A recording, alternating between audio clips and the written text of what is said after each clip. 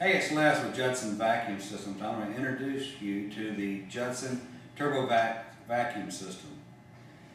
What this is is a portable vacuum cleaner that can be have a vacuum hose hooked directly to it, or this can be connected to a central vacuum system. And I have a little mock-up here of a central vacuum system.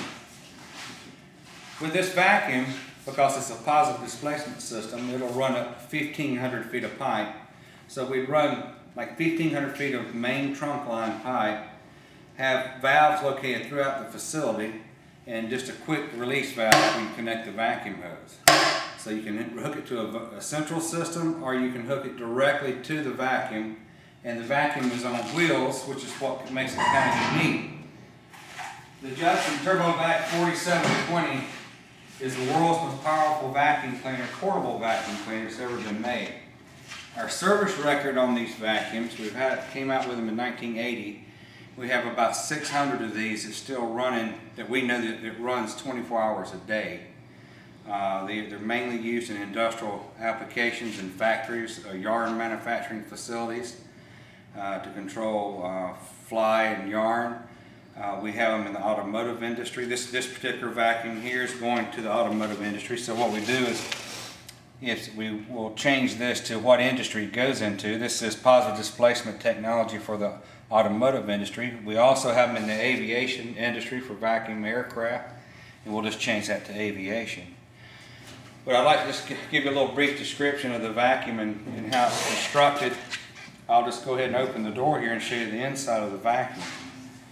The vacuum has a positive displacement blower. It produces 600 CFM, 12 inches of mercury. This is the silencing system here. The blowers are fairly loud. And it has a twin silencer. This is the main silencer and then it goes into a second silencer there. It goes underneath the whole unit all the way out. Then we duct the exhaust out of the facility uh, with flexible pipe to additionally get the sound out. Now this is called the level one sound deadening here. Level two is we actually will rubber mount everything and we'll put sound deadening material on the doors, on the interior and the inside here. Level three is we actually take this whole unit and mount it inside of a sound chamber for total silence. But uh, this unit here, I'll run it after a while and you'll see it's, it's not that loud.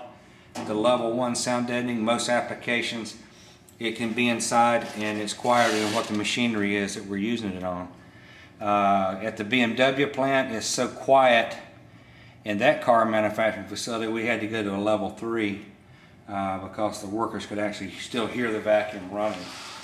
But uh, this is this side, and this, this is kind of neat here. This is an adjustable pulley, and this is how we tighten the belts. That way you don't ever mess with the alignment. You don't have to loosen the components and move them. All you do is just turn this screw, this pulley will tighten up or loosen, and that tightens and loosens the belt. So it's kind of a unique uh, belt tightening system. So I wanted to show you that. The unit is a, this particular unit is a 440 volt, three phase, 20 horsepower vacuum.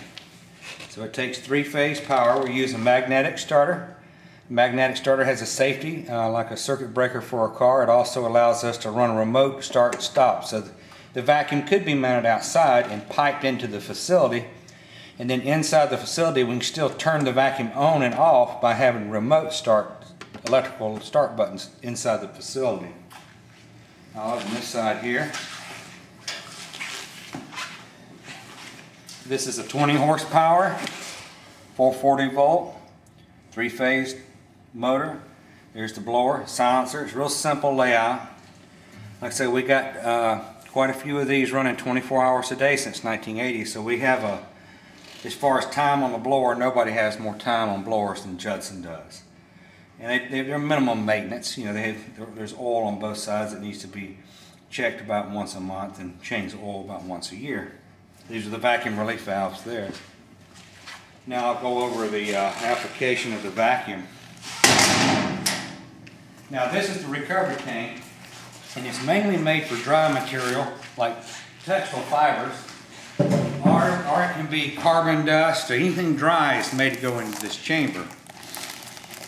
we have a double layer vacuum system, uh, filter here. And this is suspended about two inches out of the vacuum chamber. And the material is constantly going through the material, the vacuum is going through the material that you're vacuuming. And that's what's different. Most vacuums, the material comes into the recovery tank, hits a deflector plate and just drops down.